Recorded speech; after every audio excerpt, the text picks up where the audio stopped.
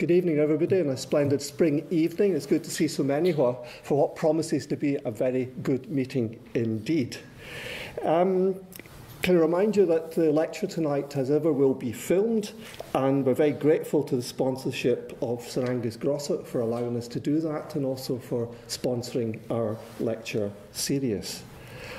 Can I first of all, though, ask the, the director to read the minutes of the previous two meetings? Good evening. Um, we have two sets of minutes to read out because um, various of our lectures were held um, away from Edinburgh the, in January and um, February, and we were not able at those events to um, uh, read out the minutes. So, starting in January. Minutes of the meeting of the Society of Antiquaries of Scotland held at 6pm in the auditorium NMS on Monday 11 January. David Caldwell, President of the Society, in the chair. The minutes of the last meeting were read and approved.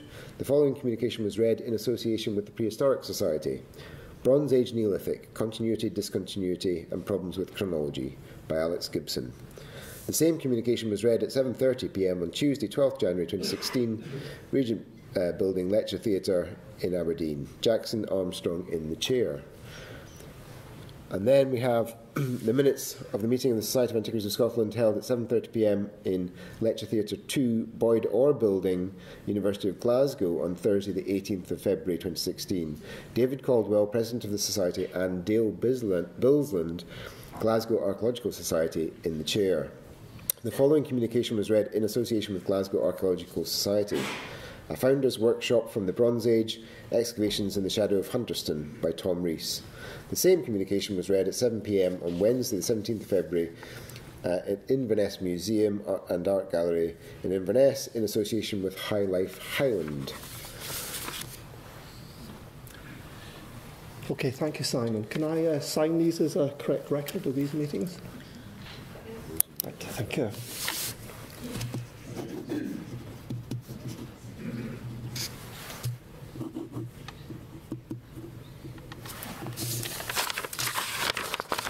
And do we have any other uh, notices for tonight? Yes. Two short ones. I just wanted to remind fellows, um, to remind our colleagues, that um, we currently have advertised two posts uh, in the Society uh, a SCARF, a Scottish Archaeological Research Framework Museums post, uh, and uh, the replacement for Vina, our Fellowship and Development Officer, um, are both uh, online on our website, have a look at them, and do circulate those uh, posts as widely as possible. Closing dates are rapidly approaching. Thank you. Okay. Thank you, Simon. So that gets us round to the um, uh, main business uh, of the, the meeting tonight. Um, and that is the, the lecture uh, on living and dying at Auldhame, East Lothian, um, which is being given to us uh, by uh, Dr. Anne Crone um, and uh, Erlend Hindmarch. Um, Anne, of course, is, uh, is you'll be presenting it, I assume, Anne, yeah? Yeah, is, is well known to many of us as a, a project manager with uh, AOC Archaeology Group, who has specialised over the years in uh, dendrochronology and the study of wooden artefacts and structures. And she's uh, pursuing research into Scottish crannogs through survey and excavation. She also manages a post-excavation programs through to publication, and it is in, in this role that she's been involved in the Althame project, a site, she points out, which is without any wood or organics. But, Anne.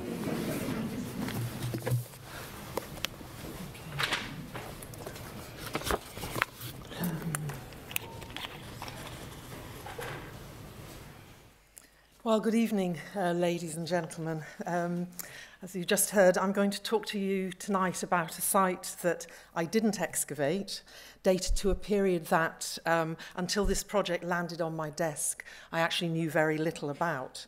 So consequently, there are a lot of people without whom the publication of Aldheim would not have happened. And I want to start rather than end tonight by thanking all of those uh, colleagues. So do I just... Um, so first and foremost, Erland Hindmarsh, who excavated the site and began the process of bringing the project to publication, and Alex Wolfe, um, who provided the historical context for what we found at Oldham. Um, that's something that archaeologists often feel very queasy about. So Alex's contribution sort of made us more confident in our interpretations. And then there are all the um, specialists um, listed in order of appearance. There's no reason why my husband's name is at the top of the list. He was just first in there. Um, but all of these made their own um, uh, sort of major contributions to the, um, the, the publication. I did realise as I came along this evening that the one thing that's missing from here is a historic Scotland logo.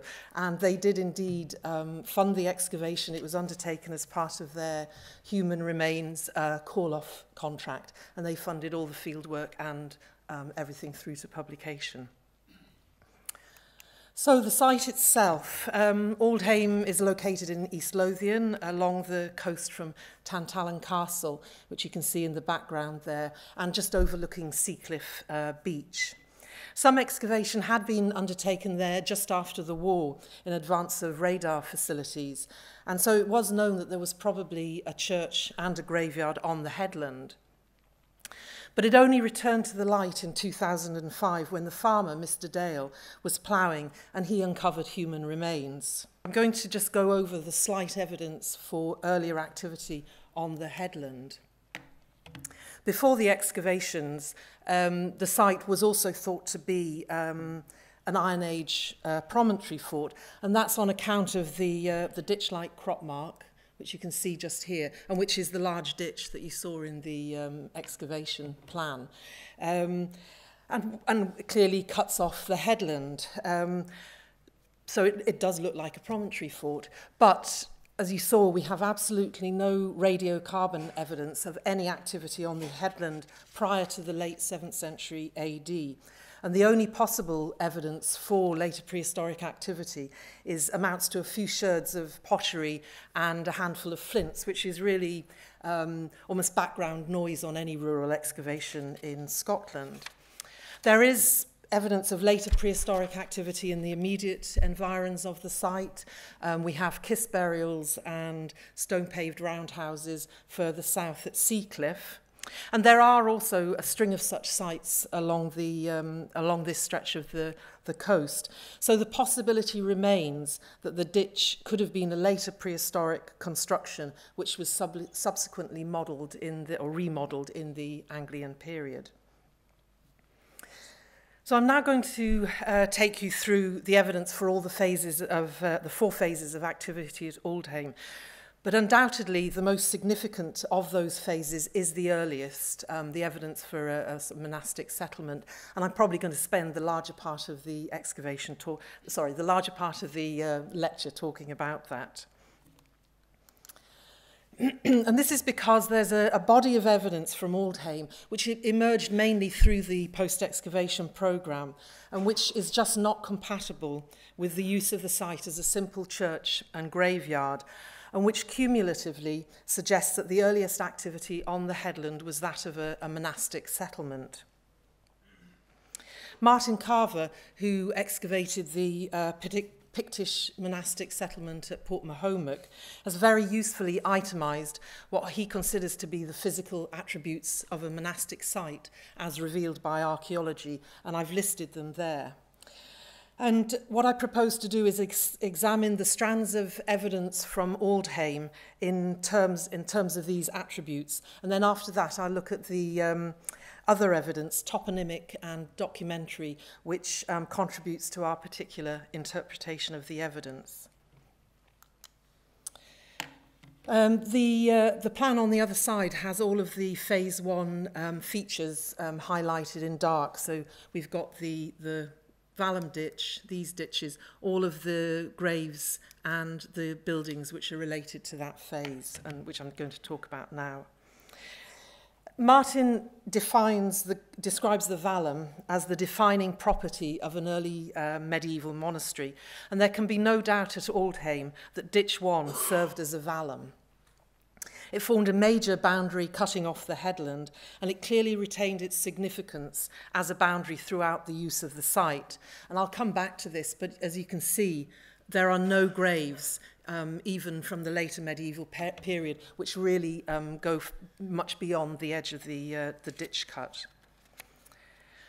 We have no evidence uh, for the date of construction of Ditch 1, hence our ambiguity about as to whether there is um, later prehistoric evidence there.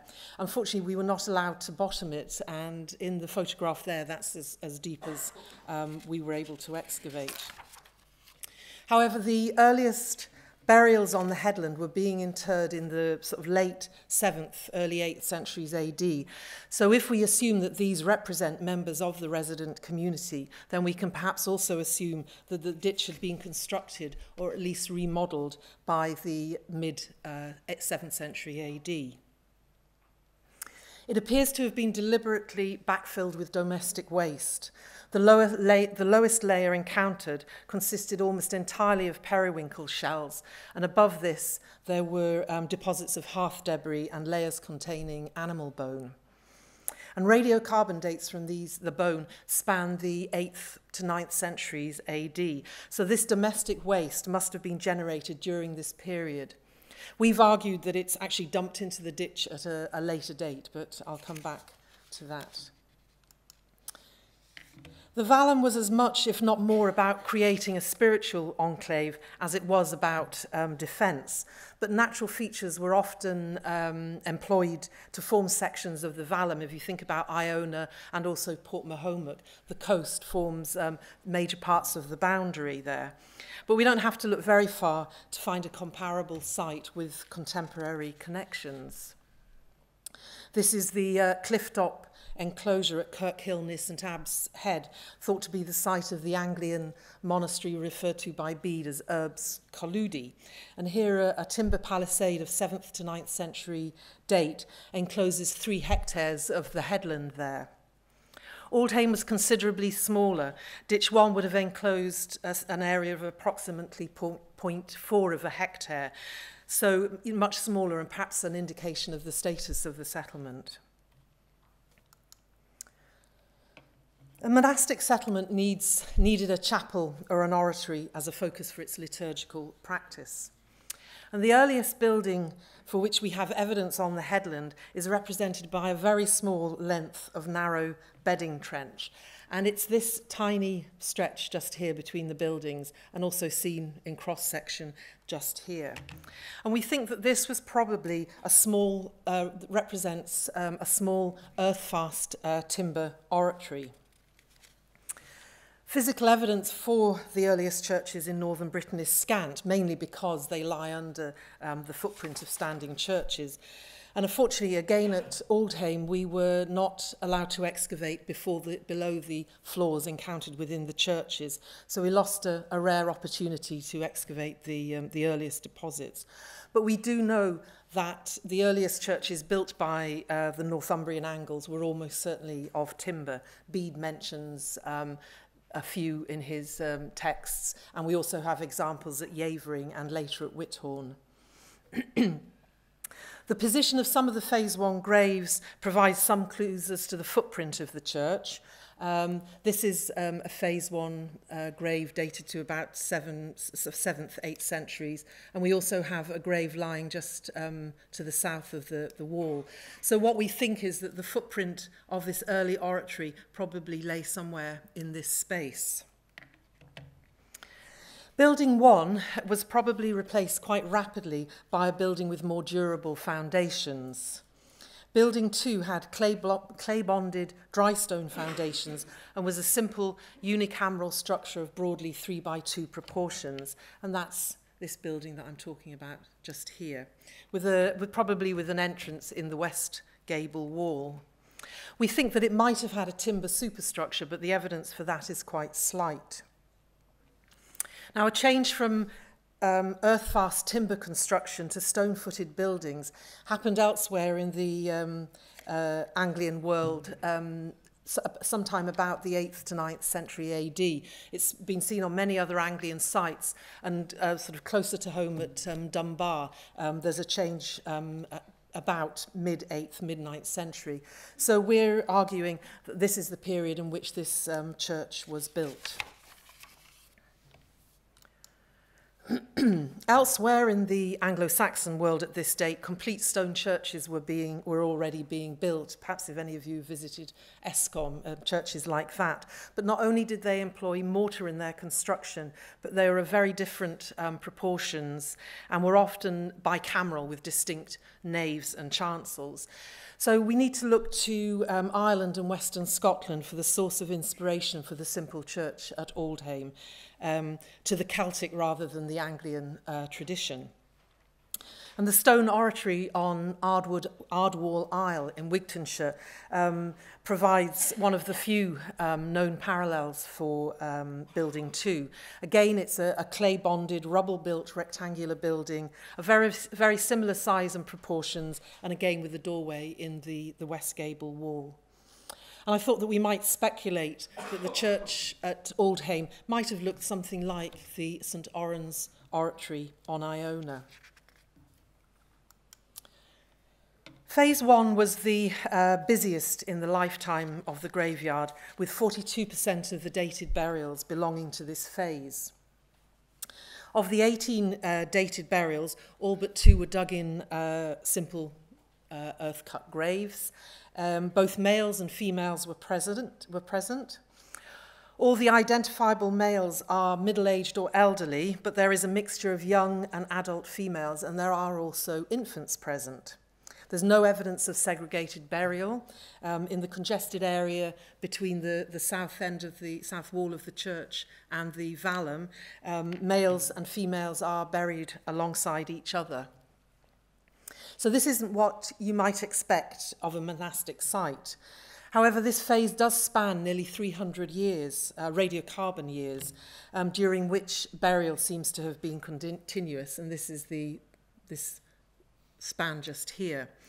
And so it remains a possibility that there is an undistinguishable early phase in which only males were buried. But the sort of um, the, the age and gender of the um, phase one burials is something that bears upon um, Alex Woolf's more nuanced interpretation of the site, which we will uh, return to. Auldhame's not produced anything like the cross fragments that we know of from Aberlady, Morham and Tyninghame and from Abercorn, which I've um, illustrated just here. Um, but we do have um, uh, two socket stones um, which were presumably for freestanding crosses like the one from Abercorn. And we also have cross-incised stones, which were probably grave markers. And book production, um, obviously one of the uh, Martin's uh, markers for a, a monastic site. And it's the evidence for a scriptorium at Aldhame that's perhaps the most compelling of the strands in the case for a monastic settlement. Firstly, there's the, the glass inkwell fragment, which was found in the plough soil. Um, that's the, this object just here. There are only six other examples of Anglo-Saxon inkwells known throughout Britain, and of those four were found in monastic um, contexts, and scriptoria were invariably associated with monastic foundations. Adding weight to the theory that there was a scriptorium on the headland is the presence of large quantities of dog whelk shells in the earliest deposits on the site. The significance of the dog whelk shells lies in their use for producing um, purple dyes and pigments. The Romans valued this purple dye, which they used in their clothes to denote wealth and status, the imperial purple of Rome. And Bede described Aldfrith of Northumbria as ascending the throne in whelk dyed cloth. And while this may simply be a literary flourish to establish a comparison between Alfred and the Roman emperors, rather than a statement of fact, he does also go on to praise the native British dog whelp for the dye that it produced. dye production is a, is a large-scale operation. And we have no evidence for that at Aldhame. So it's more likely that um, at Aldhame, the dog welts were used for the marking of, of um, pigment. You can actually use the gland directly to mark, uh, mark the uh, parchment. The evidence that most clearly indicates domestic activity on the site is the, president, is the presence of food residues in the form of animal bone, um, charred cereals and shellfish. None of these assemblages is large, but they, almost, they occur almost exclusively in the non-grave context, such as the ditch fills and the post holes. Um, all but one of the 10 radiocarbon dates, which I've shown here, from animal bone have been dated to phase one. We've got cattle, sheep and pig are present together with, with small amounts of fish and bird bone. Um, barley, wheat and oats were present, as were weed seeds, which implies that um, cereal processing was being undertaken on the site. And the dense layer of periwinkles that I mentioned earlier in the ditch probably also represents um, food debris. Uh, comparable deposits of periwinkles have been found at the no Northumbrian monastery at Jarrow, and there it's been suggested that they would have provided um, a good source of protein during the sort of meatless days of the, the Christian calendar. So perhaps the periwinkles in the ditch represent the residue from such a day. More indirect evidence for food production comes from the analysis of the soils in the graveyard. There, there's a buried soil which was found mainly over the northern part of the excavated area, and we've done thin section, thin section analysis of this. And what this has shown is that it's been extensively manured by the addition of um, organic matter. So it was um, forming a plagan soil, something that was deliberately developed for cultivation. So a monastic settlement would also have needed living quarters for its brethren and building for its agricultural and craft activities. And although the evidence for buildings at Aldhame is slight, it is there nonetheless. Um, the red arrows indicate um, the locations. We've got um, the cluster of uh, post holes and this length of bedding ditch up here, um, which all must surely represent a building, although too little of it was exposed to tell us what it was. Again, we've got um, bone from two of the post holes which produced phase one dates. Also in the northern part of the site is the circular base of an oven seen there and also here um, after excavation. This isn't directly uh, dated, but it was um, cut by later phase two graves. And it's clear that a structure like that would have been out of place in a, uh, a graveyard and, and more at home in a, a domestic setting. And this cluster of features down here provides more convincing evidence for a contemporary building in the form of a bedding trench for a, um, a rectangular structure. Again, animal bone from the fill of the um, trench produced phase one dates. However, as you can see, it's, um, it's outside the vallum, so it might represent um, a secular rather than a monastic um, uh, building. This arrangement was not uncommon and it can be seen at Whithorn um, where there's a, a residential zone um, is of these sub-rectangular timber buildings which just lie outside the inner vallum and they continued in existence throughout the life of the Northumbrian uh, monastery there so we might be looking at something like that at Whithorn uh, at Aldhame. On balance then, um, a monastic settlement at Aldhame, sometime between the late 7th and 10th centuries AD, perhaps best explains some of the more disparate um, strands of evidence from the site. It, so it ticks the um, Aldhame, it ticks um, seven out of the uh, eight attributes that Martin has listed. There's no clear evidence for uh, metalworking associated with the monastic phase at Auldhame, but it is quite possible that um, metalworking was taking place elsewhere on the headland outside of the excavated area. And we can make some very general comments about the layout of the monastic settlement. The agricultural soils, the oven and the building represented by these um, uh, ditches here all lie on the northern uh, tip of the headland and um, and towards the east as well. And as I said, the eastern half was we didn't we didn't um, carry out any excavation in that area because there were no skeletal remains. Ditch 3 um, seen here, appears to have always um, formed the eastern boundary of the graveyard. And as you can see, the easternmost graves form quite a ni nice, neat line um, just inside it. The graveyard thus always appears to have been restricted to the western corner of the, um, the headland, and it's possible that the um, sort of other elements associated with the monastic settlement lie elsewhere on the, uh, the headland. We've so far considered only the um, archaeological evidence for a monastic settlement at Aldhame, but there is both toponymic and documentary evidence which bears on this, um, upon this interpretation. Elsewhere in um, Northumbria, the suffix ham, as in uh, Pefferham, Aldham and Tinningham in that um, top quotation, denoted a settlement – But recent research by Alan James suggests that in Anglo-Saxon Scotland, ham depend, um, denoted an estate dependent on a minster. It was the area of land, an ecclesiastical estate. Thus, together with the prefix old, Aldhame was an old minster estate, an old ecclesi ecclesiastical estate. And what's important is that it was referred to as Aldhame in this mid 9th century document, so it was already old by the mid 9th century.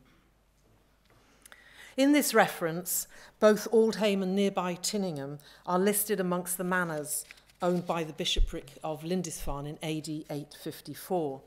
And David Rollason has suggested that these places were monasteries which might have been members of a confederation with Lindisfarne in its, at its head. However, in the, the second quote by the late 10th century, um, only Tyninghame is mentioned. So although there may have been monastic settlements at both Tyninghame and Auldhame in the mid-9th century, it would appear that by the late 10th century, um, Tyninghame had assumed the more uh, preeminent position. At Tyninghame, we have clear evidence of an early church. We've got the 9th century uh, cross fragments and the remains of the 12th century Romanesque um, Church of St Baldred, but no evidence for the associated settlement, um, which is what we have at Aldhame. So why and when did this change in status happen? Um, the radiocarbon dates at Aldhame may offer a possible explanation. All of the non-human dates, i.e. those representing midden deposition and therefore relating to settlement activity, end in about the mid-9th century. And that's in the, the Oxcal graphic here. It's all the dark bars or all the, um, the non-human. They're all the bone dates. And as you can see, they don't continue um, beyond here. They don't continue to the end of phase um, one. And so we argue that the monastic settlement ended about this time, although burial activity did continue on the site. Given the date, we might um, suspect Viking attacks for the explanation of the change in status at Aldheim. They'd begun their attacks around the coast of Britain in the late 8th century, and monasteries were a particular target, the most well known being that at um, Lindisfarne in AD 793. And we do have a Viking burial at Aldhame, um, although this is probably related to a later incident. This was the only uh, furnished grave found in the graveyard, and like all of the um, graves of this early phase, it was an extended inhumation in a simple dug grave aligned east-west. Uh, the occupant was a young adult male between 26 and 35 years of age who had been dressed buried um, who'd been buried dressed in linen with a copper alloy belt set attached to a tooled decorated leather belt. And he was accompanied by um, an iron spearhead and iron spurs. And the spurs are the sort of big lumps at the that you can see around his feet just there. And that we, a radiocarbon date um, places his death between the late 8th and late 10th century AD. And this is a date that is in keeping with the equipment he was buried with. The belt fittings in particular belong to a very distinctive group of metalwork found in Viking Age sites around the Irish Sea and dated to the late 9th and 10th centuries AD. Their style and construction indicates that they were made in the British Isles um, by the Norse and for the Norse, and probably in one of the Norse settlements in Ireland. And these, these are the spurs. They're the first prick spurs to be uh, found in Scotland, but they've been recovered um, mainly from Viking Age graves in the Isle of Man and more recently in Cumbria. Um, they've been, in recent excavations, they've been found, um, they found burials with prick spurs in Carlisle Cathedral and also Cumwitten, which is just inland from um, Carlisle. So in terms of cultural affinity, the, the Auldhame grave goods have more in common with an Irish sea tradition. Um, this is Cumwhitton just here, and you've got Carlisle just there, um, rather than with the Norse graves of North and West Scotland, that we should look south rather than north. We know that in the mid-10th century there was Viking activity around the East Lothian coast. It's recorded um, that in AD 941, the Norse king of Dublin and Northumbria, Olaf Guthfrithson, laid waste the church of St. Baldred and burned Tyninghame. This event is then later reported in the Melrose Chronicle as immediately after burning and looting the church of St. Baldred in Tyninghame, Olaf died. Simeon appears to distinguish between two locations, the Church of St Baldred and Tinningham, and this is a distinction that's lost in the later text, but which perhaps becomes significant in the light of the evidence that we found for an early church at Aldhame. It's tempting to speculate that the Viking burial, um, to associate the Viking burial with that expedition. And Alex Wolf um, went so far as to speculate that it, was, that it could even be the body of um, King Olaf himself. And you may be aware that in 2014 there was a lot of media attention, um, which is why you see Fiona Hislop here with the, the um, skeletal remains, his um, prick spurs and um, belt set. Um, Alex did speculate with a lot of caveats, but they were ignored by the, uh, the media. Certainly the, um, the texts make a clear connection between the attack on um, Tinningham and his subsequent death. You know, he attacked Tinningham, then he died. The implication being that he died of injuries sustained um, during the attack. Olaf was probably still young when he died. He ascended the throne when his father died only seven years before in AD 934, and he appears to have spent his life plundering and warring. However, without secure uh, DNA comparanda, we're unlikely ever to be able to confirm or exclude this identification. We did commission isotope analysis on a sample of skeletons from Auldhame, including the Viking burial, but unfortunately it's not been possible to demonstrate conclusively that the young male is an incomer, although overall the population at Auldhame appears to have been largely local in origin. So there are many um, options for the interpretation of this burial. Is it the body of a local man who had spent time in the service of the kings of uh, Northumbria and Dublin? Was he a, uh, a king's man, a member of the retinue that um, attacked the coast in AD 941? Or is he indeed a king who happened to die nearby and was buried in the nearest graveyard? This last um, pulse of burial activity in the graveyard, represented by these five um, uh, burials here could be associated to the attack by Olaf. They're virtually identical in date, um, and statistically they couldn't be dis distinguished, so they could well represent a single event. And one of them, an elderly man, um, had uh, suffered a fatal injury from a sharp weapon, which obviously suggests um, conflict. And you can see the arrows indicate the blade cuts there. What the um, radiocarbon dates suggest is that the monastic settlement had been abandoned um, a century before this attack.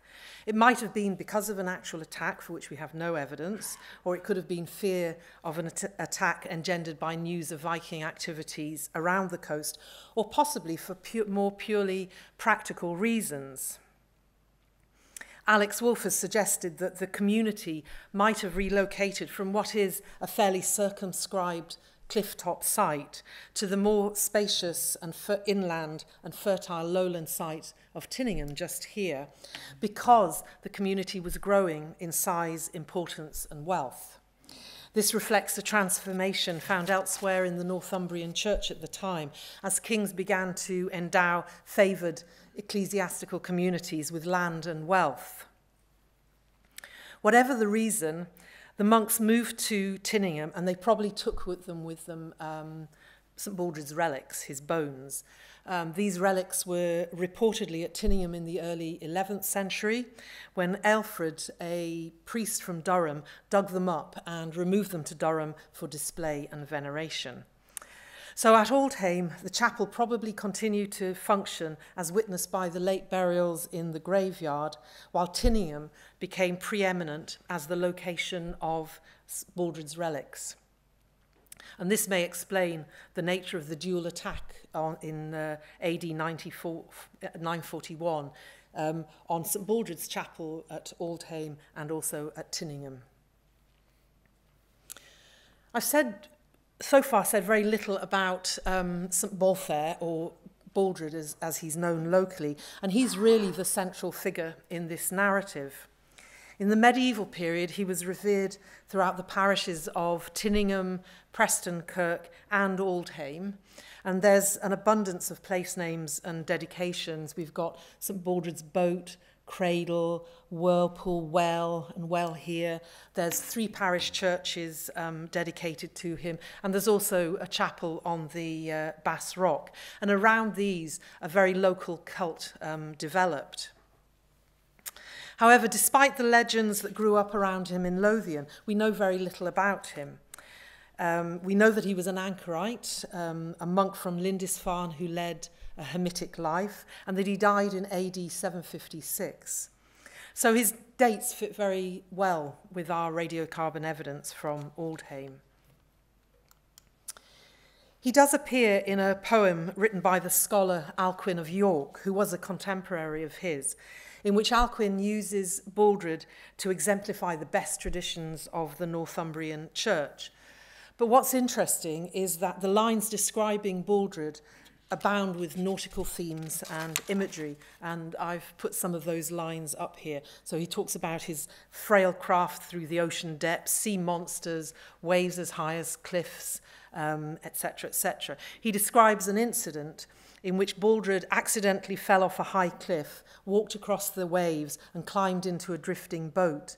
And he ends with the section with a plea to Baldred for his, help, for his prayers to help our souls escape the storms of this world and enter the port of salvation. More specifically, perhaps, Alcuin describes how Baldred fought his demons in a place, and this is the bottom one, a place completely encircled by the ocean waves, hemmed by terrible crags and steep cliffs. And this has always been assumed to be the, the Bass Rock um, legend, presumably based on this um, poem. Has it that Baldred built himself a hermitage there as a spiritual re retreat, a spot which was then later marked by a chapel built there in the 15th century. Allowing for some hyperbola, the description could also apply to the cliff-bound um, headland of Auldhame, although though the poem is clearly describing a spiritual retreat, a place of trial and tribulation, and this is perhaps a more apt description of the Bass Rock. But what the poem makes clear is Baldred's association with the sea and the coast, and this makes it all the more likely that his foundation was at Aldhame um, rather than at Tyninghame. Auldhame and the Bass Rock have always been physically um, connected, not least because Auldhame overlooks Seacliff Beach, and this provides the nearest safe landing place on the mainland for the rock. Um, so it would make sense if Baldred did indeed have a um, spiritual retreat on the rock, that he would make his mainland base, where he administered to his congregation, adjacent to the, the landing place. throughout this lecture, and indeed throughout the monograph, we've described the settlement as monastic. But recent studies suggest that the religious communities of early medieval Britain were so varied in character that a much more neutral um, term, such as minster or maybe even just ecclesiastical settlement, would be a more appropriate um, description. And Alex Woolf, in providing um, a, a historical context for the evidence from Auldhame, has suggested a much more nuanced interpretation than that, that is perhaps suggested to us by a monastery, the idea of um, sort of monks leading a, a very secluded life. Firstly, he suggests that Baldred might not necessarily have been the founder, but he perhaps was the first sacred personality around which um, a cult could be develop, developed. He suggests that, that uh, Baldred may have lim lived at um, Aldhame initially with a small uh, band of brothers, a, a dozen of companions or so, and then he died there. But when the, the community moved to Tinningham, Alex suggests that Aldheim became um, what he calls an associative, i.e. non-corporeal relic, because obviously his relics were now at Tinningham, we assume. And so Aldheim be became part of a, a hagiological landscape, an area where the cult of um, Baldred could be enacted so um, pilgrims and other members of the community could go there and experience Baldred's life. As such, Aldhay may have been maintained by a hereditary priestly family, something that is known and recorded elsewhere in the insular world. And this is what might explain the mixture of age and genders in the uh, graveyard. Whatever his role, we argue that Baldred was involved in the monastic settlement at Aldhame sometime in the first half of the 8th century, and that on his death in AD 756, he was buried there, thus ensuring the sanctity of the location for the next uh, thousand years. So now I'm just going to take you on a very um, whirlwind tour of the later phases of activity at um, Aldhame. Um, mainly because there's, we, we've just got graves and buildings uh, to talk about. In AD 973, Anglican, Anglian control of Lothian ended when Edgar of Wessex ceded the territory to the Scottish king Kenneth II. And these political events might explain the hiatus in burial activity in the graveyard between phases one and two. So I'm talking about this hiatus just here. During this phase, the dilapidated structures of the old monastic settlement may have been demolished and the ditches backfilled. And the evidence for this comes from one of the phase two dated skeletons, which, as you can see, lies over the edge of the ditch. So it provides a terminus ante quem for the, the backfilling of, this, um, of the ditch itself. Nonetheless, the ditch remained, the ditches remained as significant um, boundaries to the graveyard. As I, as I said earlier, you can see that none of the, the graves really impinge um, across the, uh, the width of the, the, about the, um, the ditch. And this means that there must have been some sort of more ephemeral structure, such as a fence, fence or a hedge, which was used to define the boundaries at this time. And these early boundaries probably retained their significance throughout the lifetime of the graveyard because of the um, cult springing up around St. Baldred. Building 2, which is this, the building here, continued in use in this phase, but we think with the addition of um, a timber nave, and the evidence for this is this small section of um, earth cut uh, slot here, there. There are 11 dated burials from this phase, um, the blue burials, and as you can see, they still cluster between the south side of the church and the, the vallum. And the south side of the church was seen as um, propitious, being associated with light and resurrection. Building 2 probably became a parish church during this phase. Um, this was the time when David I was establishing the sort of parish system throughout Scotland. However, Auldhame Parish was and remained an unusually um, small parish, one of the smallest um, in Scotland and very poor as a result of it. And Morag Cross, who's um, done all the, the documentary research for Auldhame, has argued that the small size of the parish at Auldhame probably reflects an earlier uh, pre-feudal land division, which is probably related to the special status of the monastic settlement. Again, there's a period of abandonment at this phase during which uh, building two decays, um, and that's uh, this gap just here. Um, in the early 13th century, um, burial activity commences again and the church is renovated. And this renovation might be related to the formal consecration of Aldhame by David de Burnham, who Bishop of St Andrews, on the 23rd of April 1243. And it's possibly at that point that Aldhame uh, became, was formally made a parish. In the renovation, the timber nave at the western end was abandoned, but a new chancel was added at the eastern end, and the, the evidence for this are two stretches of mortared masonry which seem to sort of extend the church um, eastwards. There are 10 dated burials from this phase, the red graves, um, just around here. And as you can see, they're now scattered more to the sort of west and east and uh, the north, um, possibly because they're now trying to find graves in an already uh, crowded graveyard. The chapel and graveyard are once more abandoned around the end of the 14th century, and a century elapses before the, the site is used again. Um, this burial um, here was inserted um, during the 14th, 15th century over the western entrance of the chapel. So this building here must have been um, derelict by that point. And the, um, the, this, this burial here is this Oh, here it is. It's this one just at the very end. And statistical analysis of the radiocarbon dates makes it clear that, this, date, this burial is distinct from the other phase three graves. So we suggest that it might have been an isolated burial, still using the sanctified ground, but after the, um, the formal use of the graveyard had ceased at the end of this phase. During phase three, we find more evidence of non-burial activity on the headland. Um, these brooches were found in the topsoil and they might be um, grave goods, but we've also got a range of other artifacts um, which indicate that a range of agricultural and semi-industrial activities are taking place somewhere in the vicinity. And the final four, phase, um, phase four, is probably associated with the acquisition of Auldhame Estate by Adam Otterburn in the early 16th century.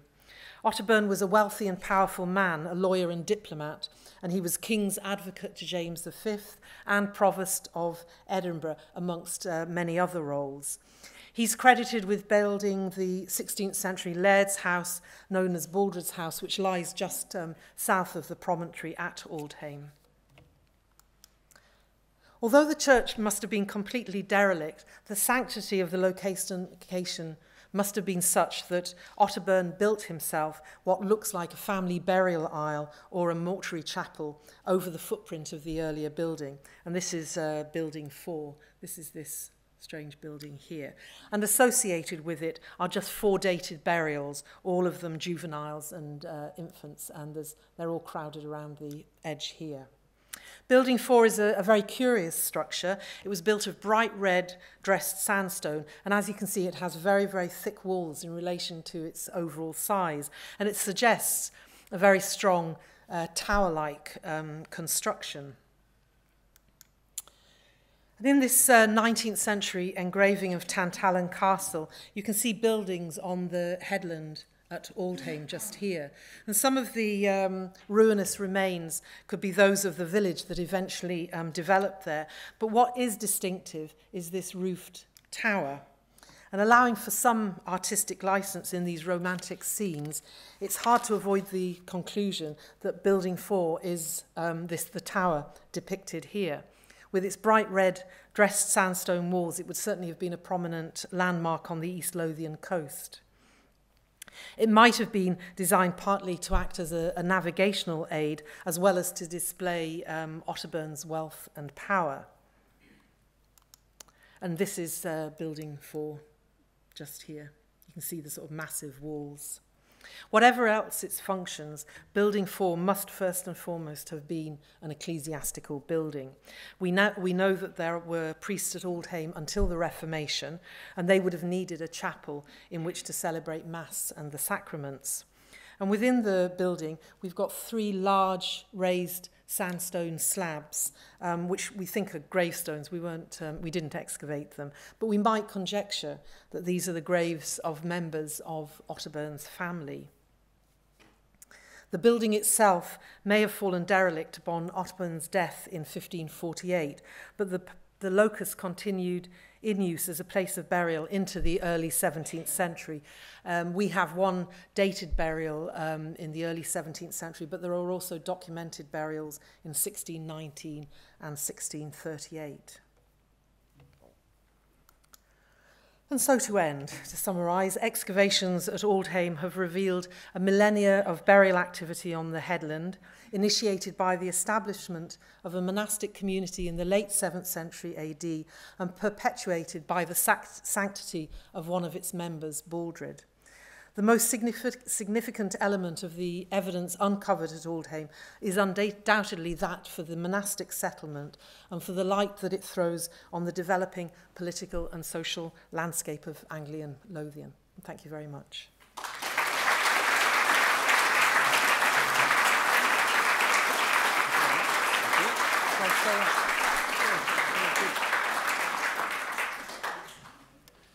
Thank you very much indeed, Dan. That was a splendid talk. Uh, could we now have some questions or comments? Um, could I ask you to wait until um, a microphone is brought to you before actually speaking up?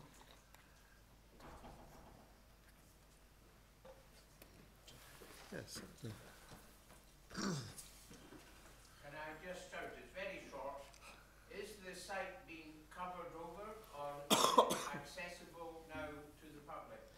Um, I, I believe that Historic Scotland or Historic Environment Scotland have a management agreement with the um, farmer, so there's no further ploughing happening on the um, headland. But there is nothing to see there. The, um, the remains were all um, reburied um, after the excavation. Uh, there were a group of graves that seemed to be aligned more sort of northwest, northwest, southeast on the west side. I, I, as, as opposed to the ones that were more east-west.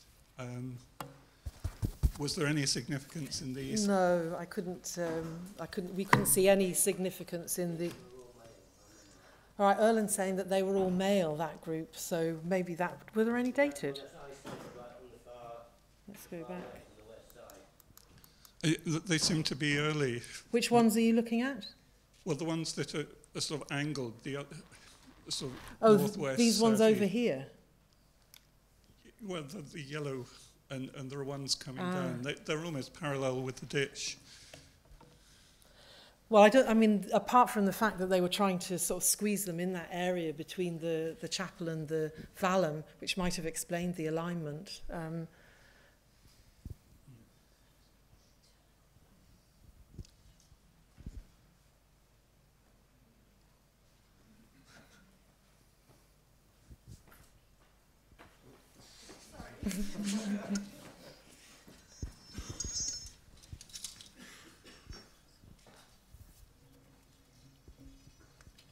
What's the little green one?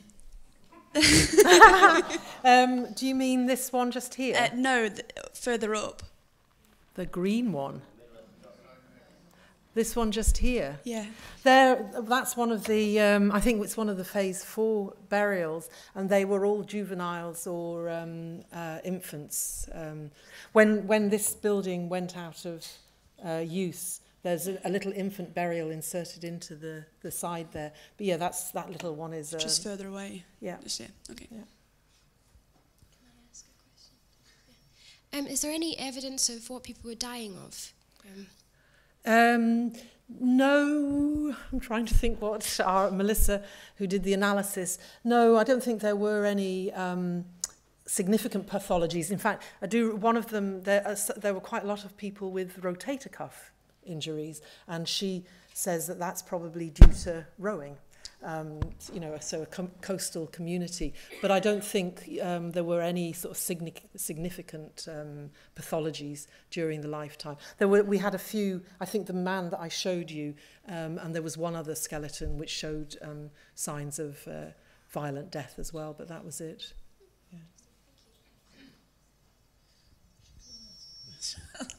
We're just passing this along the row. Um, why were you not able to excavate the vallum and the some of the other areas more fully? Um, it was mainly because it was a the work was done under the human remains call off contract, and that's uh, you know obviously set up to deal with um, not to deal with bodies on this sort of scale. Um, so once it became clear that um, how extensive it was, I think the inspector at the time was um, you know concerned to relate, and I can see that Rod's going to answer for me, so that's fine. um, um, Anne's right. The human remains call-off contract is meant to, to deal with sudden discoveries of human remains quickly. Um, and um, although I wasn't in charge at the time, I probably now would share the alarm of the inspector who's dealing with this as AOC found body after body after body. um, the intention was to do that the call-off contract tends, aims to move to remove human remains in archaeology which has been disturbed and to uh, follow a principle of minimum intervention. So the hope was that we would deal with the initial problem caused by plough damage, backfill, put a membrane down first, backfill, and then protect through um, an agreement with the farmer. Um, and probably at the time, that looked like quite a good decision. I would say that probably we didn't fully understand the significance of the site because of radiocarbon dating, analysis of finds, um, analysis of the documentary record, I think has come together post excavation to show how significant the site was. Um, and indeed, our attempts to protect in situ have not been wholly successful either. So, probably in hindsight, and also when you read the book, um, you can see that it has been a, a challenging uh, project in which we certainly have learned through um, yeah, the examination of reality in the field.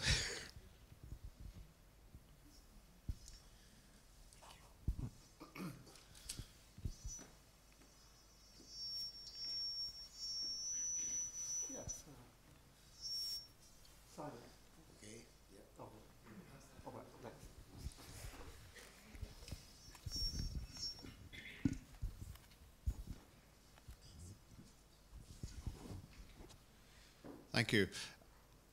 I'm just curious, is there, are there sufficient graves there to suggest a monastery uh, with, shall we say, 13 people, or is it small enough to be a couple of households or three households perhaps? Well, we can't, you know, we can't distinguish which of the other undated skeletons belong to the um, early phase.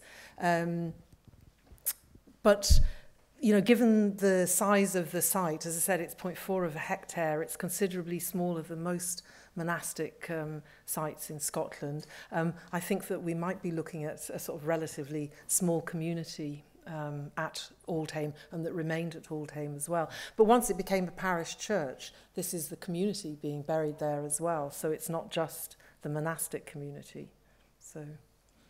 I mean, that it might be consistent with a single priest who was perhaps so-called married, and a number of perhaps a couple of workers working with him on on the yeah, acre. it could. Yes, it certainly it's only could. about an acre, isn't it? Yes, it's. I mean, yeah, it's. Um, it could be in certainly in the later phases. Yes, um, but in the in the earliest phases, there must have been. Um, I would have thought more um, a community that's sort of cultivating, you know, doing all its um, sort of various craft activities. I thought think you'd have needed, um, you know, a little more than one, just one family. Um, but it's it's difficult to distinguish, you know, what, what the the actual size of the that early community. Mm. Thank you.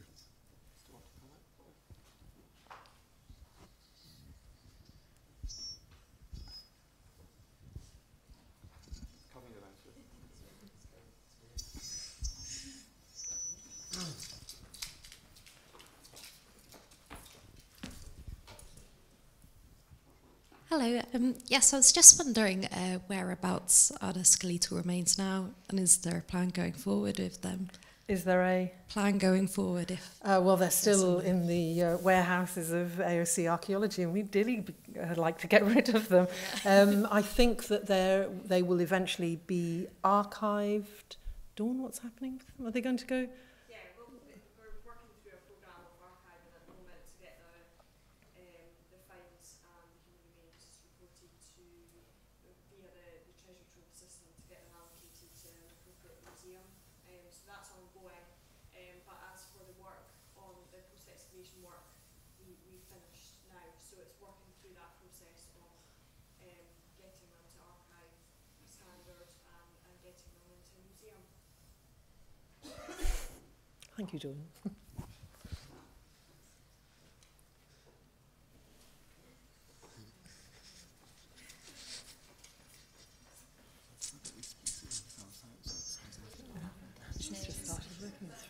AOC. We'll take I've got a question about the socket stones for the, the high crosses. Yeah.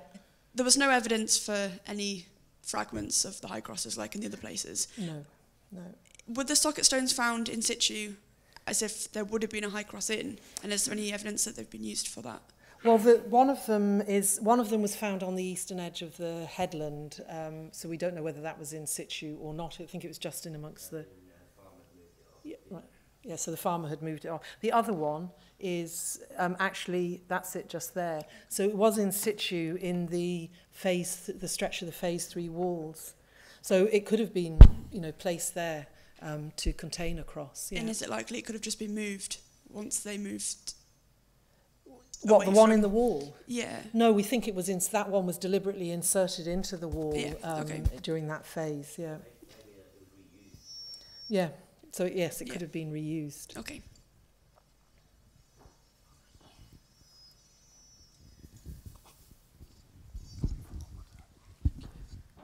Can I ask a question? Is this, is this functioning? Yes. Um, nobody else is obviously going to ask this, so I will. Um, your Viking grave is very interesting. Is the inference that he was a Christian or that his friends wanted to bury him there because so many lie around? Um, well, I think that you could you could decide you could take it whichever way you um, want. He's obviously been, um, you know, sort of interred with a, a Christian rite, um, and he's also been interred in a graveyard, um, so in a you know in a sort of active church. So his, um, I think the implication is that he was a. Uh, um, that he was a Christian. I don't know very much. I know if uh, another colleague, um, Andy, who did the work on the Vikings, he might be able to answer a little bit more uh, in more detail, you know, having looked at other um, Viking cemeteries. But um, I think that it's not uncommon to find Viking graves in Christian cemeteries, um, certainly around the Irish Sea as well. So I'm, I'm assuming that he is, um, he was a Christian, yeah. But Morag. Yeah. Um, somebody was asking about the number of um, households. That Auldhame is 650 acres, which is the smallest mainland parish in Scotland. And it has been the same size for as long as uh, the records, um, as long as it's been an identifiable piece of land. And the Dale family told me that it was 650 acres, and that seems to be the same size as it's always been. So it's an anomalously small parish, and um, it didn't, it couldn't have supported a resident priest. Um, it's too small to have done that. It seems in the Middle Ages to have been some ancillary um, land unit for the bishopric of St Andrews. But um, what you were asking about the um, the burials, the Viking burial, um, there are records of uh, burials of people that were washed up in the beach being buried at Auldhame. So he might have been just uh, somebody they found washed up in the beach. Could, I suppose there could be more Viking burials. I mean, the, the, the five um, burials, you know, this group just here, um, they weren't, bi- ba- they weren't, they could have been part of, you know, Norse, but they weren't buried with um, grave goods, so we can't really uh, identify them, but there might be more um, Norse graves on the site. Following on from that last question, could it have been a chaplain who was actually answering directly to the Archbishop, to the Bishop of St Andrews,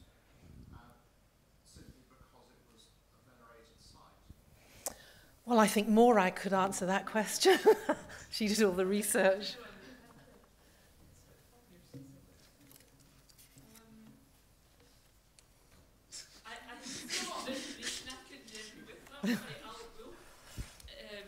really needed to. Um, I think Alex Woolf's expertise was needed. I was um, well at the edge of my level of competence with uh, the earlier stuff. I can tell you that.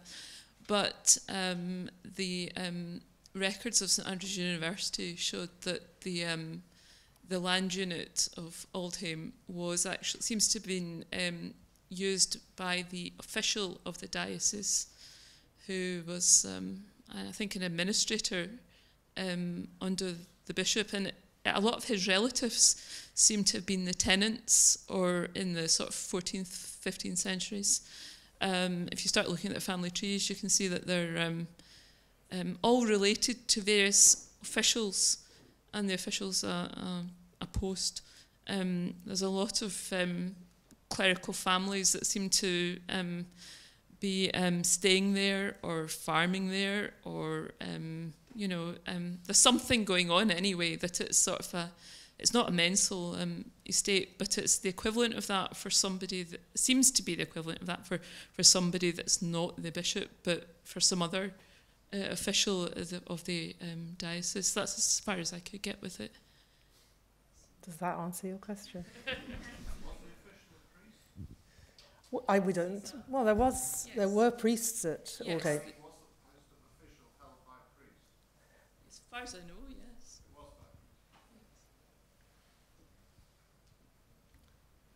Okay, can we call it an evening to that apart from one last question, which uh, may I ask Anne, and that is, can you, can you tell us a bit more about the book?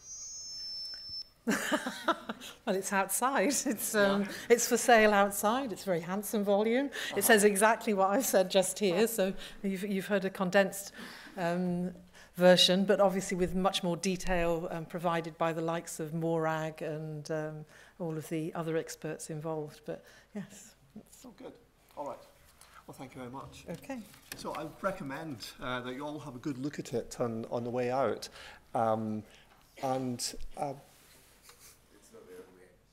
It's not there. Online, you, you had your chance.